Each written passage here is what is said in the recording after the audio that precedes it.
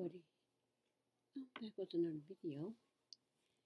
And this video is the net worth of the cast of Real Housewives of Atlanta, um, their husbands, and their ex. In comparison to what they are worth and from what I see, all the women net worth is more than the men. With the exception of maybe Cynthia. Peter's net worth, I think, was more than hers, even though at this moment, after the divorce, her net worth is more than his. But anyway, I um I went online and I just googled it and the net worth of Porsha, I put it in for 2019 and 2018 come up. So at present, Porsha Williams' net worth is five million. in 2013, before she before her and um, Kordell Stewart's divorce, worth was 16 million. Her worth was 16 million. Well, after the divorce, Porsha's net worth significantly declined. And as we as we look at as, as we look at it when she and Kordell was together, it shows that their net worth was 16 million according to Celebrity Net Worth. And it shows, says, shows that the bulk of Stewart's fortune came from um, playing for the teams Pittsburgh Steelers, Chicago Bears, and the Baltimore Ravens. And it said at one point, Kordell held a contract worth 27 million over five years. So we see their um, net worth, Porsha's net worth was considerably higher. Once the divorce, her net worth declined. And she said she um I think her net net worth went to something like this is where it is now, but it dropped considerably to I think her net worth dropped to two million. It dropped the lowest two million. I think I saw that on there. I meant to get a um a copy of that too. But I think her um net worth dropped to two million. And now after she is getting with Dish Nation and being more and more on the show, her net worth is five million. Now Dennis net worth is five um is five million. Let me see. So Porsha net worth at present is five million. And Dennis net worth at present is five million. So they are both worth ten million together. So they are equally um they're equally um whatever. And think we see on the show Porsha's having a baby, part one and two. We seeing they having the difference, especially with um, Dennis's mother. It's just so deep into mining Porsha and Dennis's business into it's getting to the point where I think she's I think she's getting too deep into it. I can see her talking to her son But talking to Porsha is a whole other thing. That's what Porsha has a mother for. So, and, and, and I'm pretty sure Diane has Porsha's back as far as that goes. So the prenup, so I can understand Porsha's stance. She has her means, he has his means. He want Porsha to do what she did. She want Porsha to sell her house. He rent his house and move into a, a house together. And that will be similar to what Kandi did. But you know, these houses have to be sold. And I can understand Porsha is comfortable where she at. And she doesn't want to sell her house. She doesn't want to move right away. She wants to stay there two years. See, Porsha wants to be a she wants to be around her family. Because Porsha is a little spoiled girl. Her mama spoils her. And when, um, when Dennis's mother said that Porsha is a mama's girl, is a mama's girl, she is. Porsha deceiving Porsha when um when Kordell did what he did, what did Porsha do? Had to go back to her mama. She had to go back to her mama. She didn't have anything. She went from sixteen million worth to two. And then she had to build herself back up. She got the Dish Nation job, she got the modeling job. She did what she needed to do to build her wealth back up, and that's what she did. Now I can understand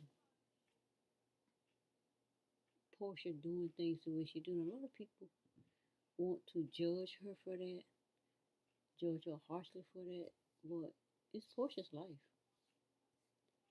Porsha wanted a baby whether she was married or not, because she was looking to men, you know, who wanted to, to who wanted to give her a baby, and a lot of them were, oh no, no, oh no.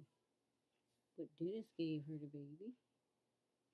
She can be married or she can don't be married. Because see, Porsha been married before.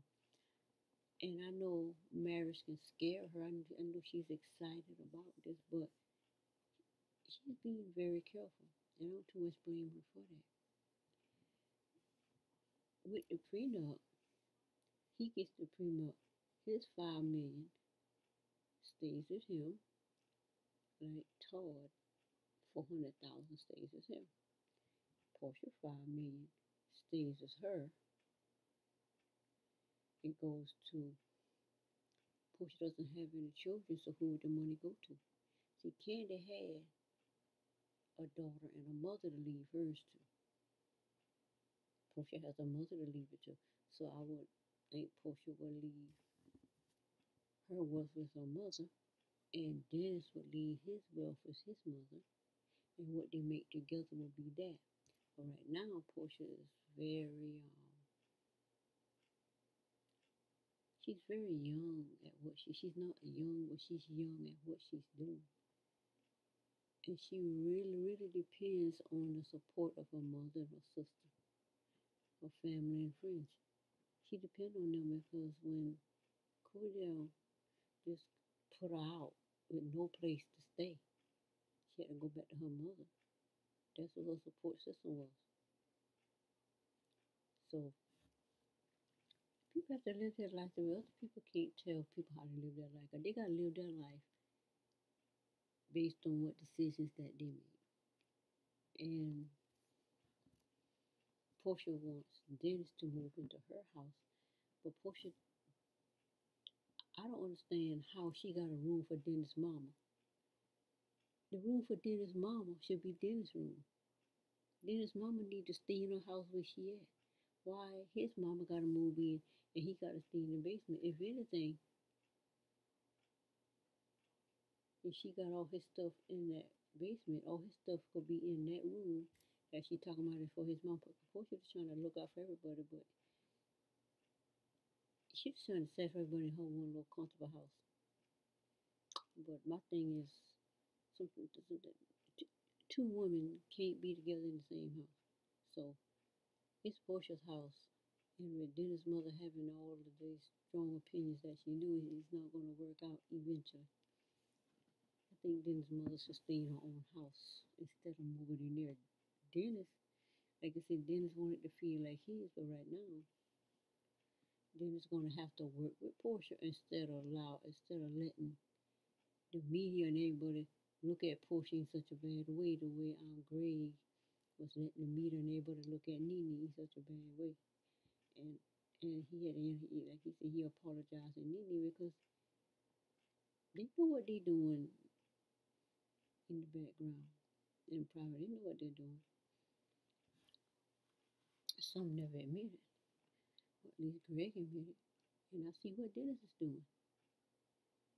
Everybody is on point. Boy, you got him in the basement. She got everybody defending him and looking at Porsha bad. That's a that's a bad recipe for that marriage already. That's like accidentally putting salt in a cake, thinking it's sugar. So that's not gonna work because all they're gonna do is ruin things. Before she got her baby, but she may never get married. But if Dennis think Porsha is just gonna just let it, it just leave her comfort zone and just move him, she's not ready for that. And if she's not ready for that, he shouldn't force her to do it. Because this marriage thing came very quickly, you were a matter of months. So she needs time. But I don't blame Porsha. She needs her time. Now, Greg and Nene Leakes. Now, Greg's um, net worth is four million. And everybody seems to think Greg, you know, he probably didn't need the money, you know, for uh, for the Real Housewives of Atlanta pilot to get where it is. But look what Nene did with that. She's now worth, they say somewhere around 14 million. She took whatever Greg gave her and turned in 14 million. So it is what it is with that. Then you have Shamari. Shamari's net worth is um four million. Ronnie's net worth is fifteen million. So we see the two together. So now in this instance, Ronnie, well see Ronnie is, then Ronnie is not on the show like that. He's not on the show. Like Greg was, like Greg is on the show. Peter was on the show. Dennis is on the show. Paulo was on the show. So I don't know if Mike Hill gonna be on the show. I don't think Mike Hill was on the show. And uh, is um Eva's husband, they're not on the show like that. But they'll be I guess they'll be seen on the show. But anyway, she, there's they their worth. I text Tanya Samsworth. I all of Tanya Samsworth seems to be under review because of this lawsuit she had on not paying one of her workers or something. And she had to pay a worker, an employee, seven thousand dollars. So her situation is it's not showing up. And you have Eva Marcel, Pigford. Okay. Her net worth is three million. And I guess her, her, her net worth will be going up as she's on the um, Dish Nation and she's on the show, so her net worth will be going up. Then you have Marlo, whose net worth is six hundred thousand. So she's this says she's an American actress and a former cast in the reality television show series. Former. Yeah, I guess she I guess she would be considered former because she's not a um, full-time housewife. She's just a friend of the show whenever she on there. Then you have Cynthia Bailey. Um, Cynthia Bailey. Now, Marlo is worth more than Cynthia Bailey. It's the Cynthia Bailey net worth. It went from, no, she was 50000 in 2013. from fifty thousand in two thousand. Her net worth was listed as five hundred thousand. So this is her net worth. Bailey earned an estimated salary of five hundred thousand. So basically, her net worth was what she get paid on the show.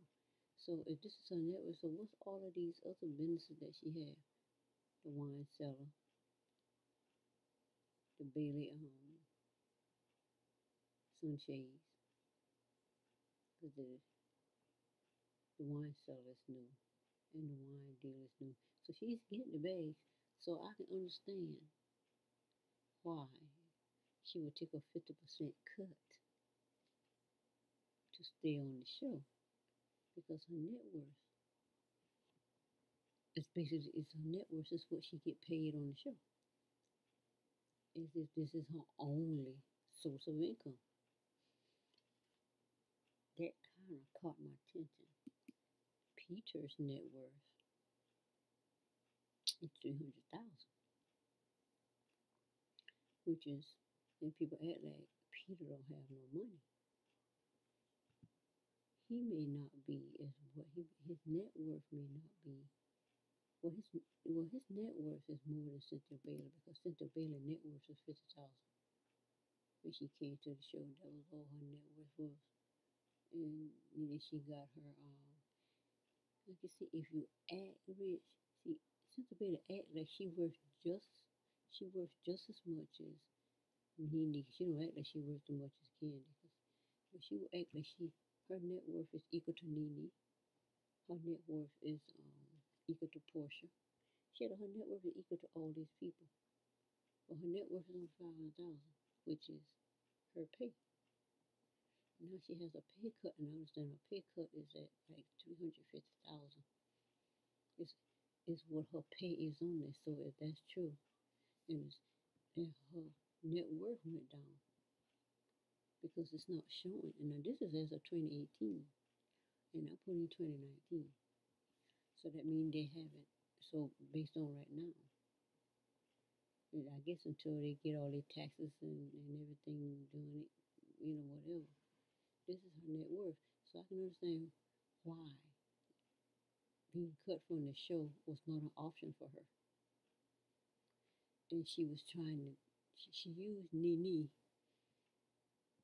as a um, leverage to get on the show because she came on the show as Nene Friend with that Nene, uh, I mean with that friend, friend certificate, whatever the craziness she done.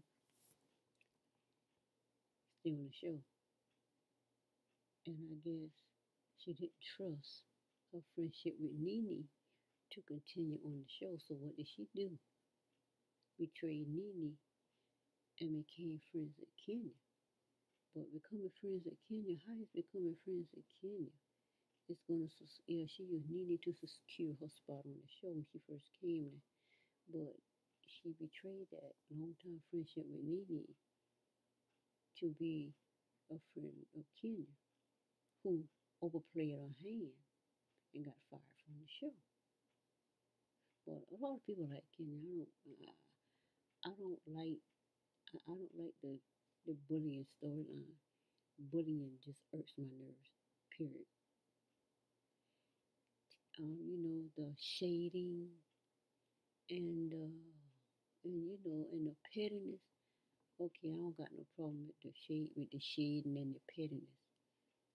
But the outright bullying that provokes a person to violence, and then you sit back and judge that person for not being able to control themselves they have to go to anger man- management.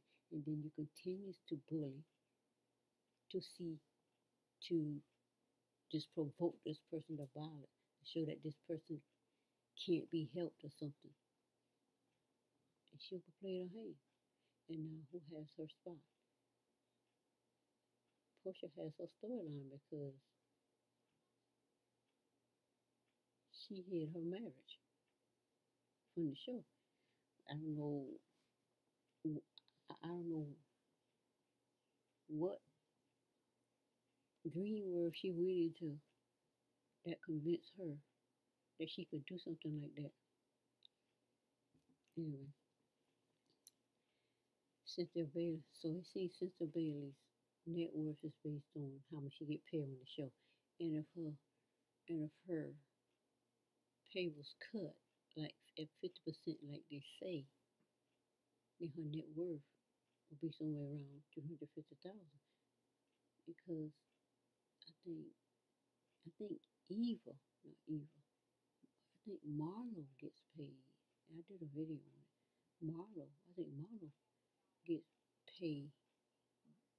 Her pay is by as a friend daily, and Marlo gets. I think Marlo gets paid four hundred fifty thousand, something like that. Marlo, at this point, if what they say about Cynthia is true, she gets paid more than Cynthia. And Marlo's um net worth. Let me see Marlo's net worth. I just saw Marlo's net worth. Is this Marlo's net worth? That's your Mara. Where's Marlo's net worth?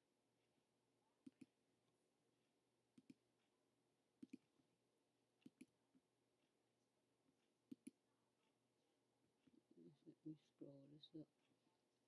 There you go. Marlo's net worth is six hundred thousand. So Mar so Marlo is making money in other endeavors besides the show because if Marlo is getting paid four hundred fifty thousand then that's her net worth is more than what she's making. But it doesn't seem that way for Cynthia, whose net worth is five hundred thousand based on what she's getting paid on the show. But anyway, then then like I said, Peter's net worth is three hundred thousand. Then we have Kenya. Kenya's net worth, and that's just one point five million in two thousand thirteen. But they said like her former castmate Porsha, Kenya net worth dropped also. And Kenya net worth in 2018 is estimated to be only 800,000. That's because she lost that income. She was fine and then she lost that income. So her net worth fell, dropped. So that just put her 200,000 above Marlo and 300,000 above Cynthia. At least Kenya Moore income isn't based on what she's actually getting paid on the house on the housewife because this is her income into last uh, last year up to the president until as of February 2019 this article says that's what her um, net worth was. Now you have Kandi. Kandi net worth is 35 million, and we know where Kandi get her net worth from. And they say Kandi makes around 450,000 a season on the show. But the rest of her income comes from being a former member of the Xscape and a songwriter. So that's Kandi's net worth is 35 million. Then you have Todd. Net worth is 400,000. So this right here, which in the difference in the um, net worth between Todd and Kandi and Todd and Porsha and Dennis is considerably different because Porsha and Dennis, their net worth is equal. They're equal to each other, but Todd is in no way equal to Kandi as far as net worth. Because her net worth is 35 million and his is 400,000. So it makes sense for Candy to make sure that her wealth goes to her mama and her daughter. And um, then I guess she will make sure the kids she got retired too.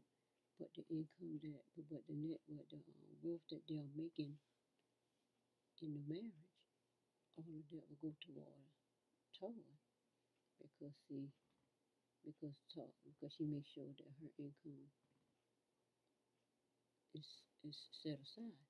So I'm thinking putting um Kandi didn't have a baby at the time.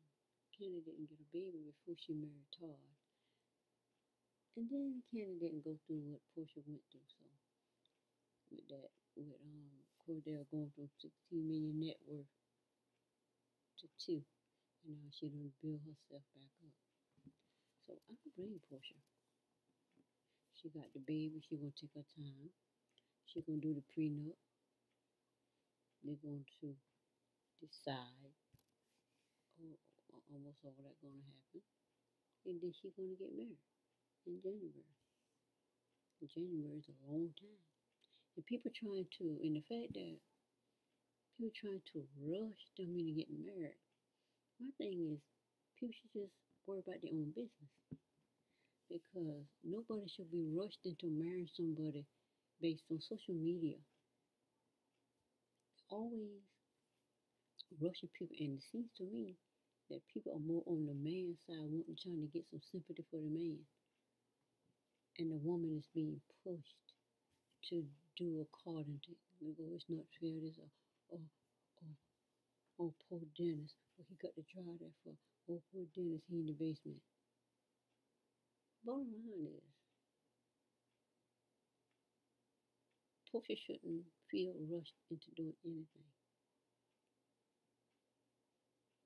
She's listening to her lawyers. And her mom is not saying much. Lauren is doing a lot of the talking. But behind the scenes, they're coaching Porsha. But they're making sure Porsha don't get caught up like she was. Dennis got his, you got yours. Y'all get your prenup. That way, if anything happens, you're gonna split what in the marriage.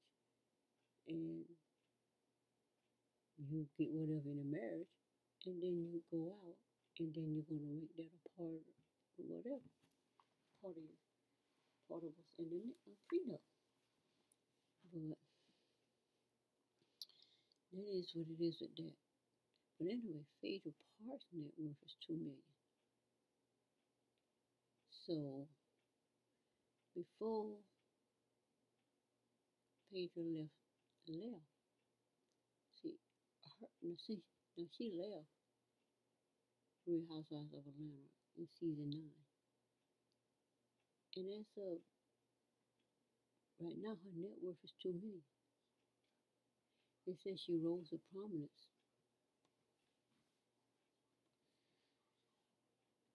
It she rose to prominence since her appearance. And it is known from sources that her last annual salary from the show was more than 1.3 million. So she's getting paid off of her salary of 1.3 million. So on the Real Housewives of Atlanta, her income rose. Maybe it was more than two million. I don't know, but two million. So this is what income is. So, and they want her to come back to deal with Apollo and a fiance. See, she has a boyfriend now. I think that Tone Capone. But I checked. I think I checked. Yeah, I think I checked Tone Capone. Um, I don't. I didn't really see his either.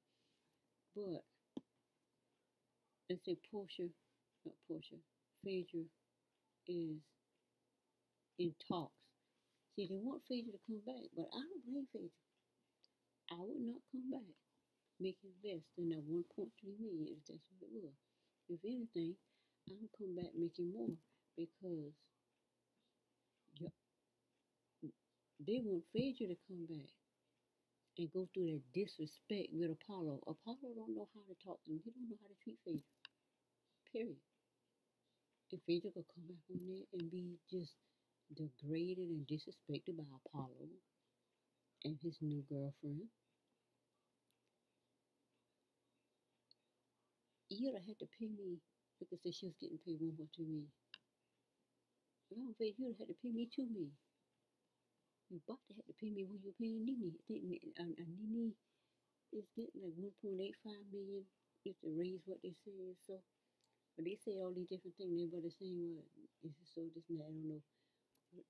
Based on what article saying she getting 1.85 million, I did a um, video on it.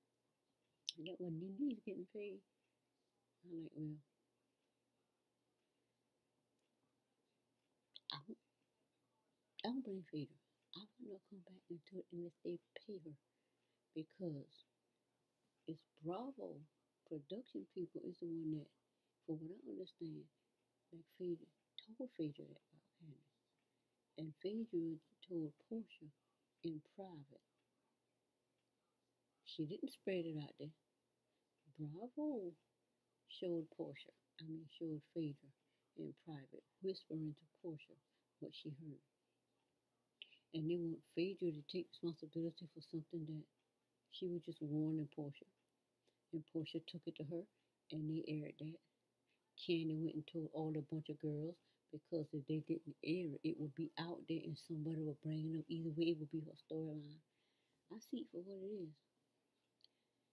Phaedra, Phaedra come back, yeah, yeah, make them pay. Because she worth two million, she not on the show. Then Apollo estimated worth four hundred thousand. And if he come on the show, he'll be getting paid, so his net worth will go up. But, but Phaedra's supposed to just come on the show and put up with Apollo. But see, Apollo had a lot of ratings when he went on there with, with Drill Saw, acting crazy, some crazy person. Who coming back on there to put up with that? And to put up with a girlfriend that's going to be backing it up? Nah, I don't blame Porsha. I, mean, Phaedra. You don't pay me to come in there and put up with all that. But anyway, um, that's it for this article. I just just thought about this uh, the situation with um, Porsha having a baby and the talks of the prenups and the getting married and people rushing her into getting married. It's nobody's business. It's Dennis's business and Porsha's business. And the fact that Dennis sitting back looking like he just being treated wrong. If I was Porsha, I wouldn't marry him either. Because like Porsha said, you're not sticking to the agreement. She done went through that. Red flags are red flags. And, and it is what it is today. But anyway, that's it for this video. And I will um see you on the next video.